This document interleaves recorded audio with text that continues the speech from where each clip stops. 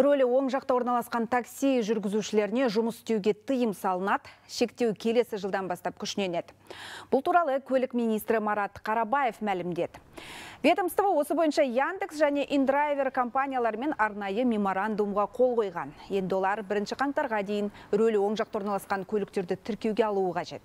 Мұндай шектеу бұрын рөлі оң жақта болып, кейін сол жаққа ауыстырылған автомобильдерге де қатысты. Жалпы еліміз бойынша рөлі оң жақта орналасқан 20 мыңға жуық көлік бар. действия водителя. такси қызметтері осындай көліктерді анықтап бірінші қаңтардан бастап қызметтен босатады мұнымен қоса ішкі істер министрлігі жол ережесін жиі бұзатын жүргізушілердің тізімін ұсынады бұл жүргізушілер де такси жүйесінен шығарылады